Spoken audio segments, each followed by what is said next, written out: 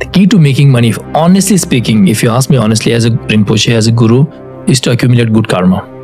Number one, there's no other funder, Because if you don't accumulate good karma, you will attract the wrong kind of wealth, which will destroy the remaining wealth that you have already and break relations, and life doesn't become worthwhile after that.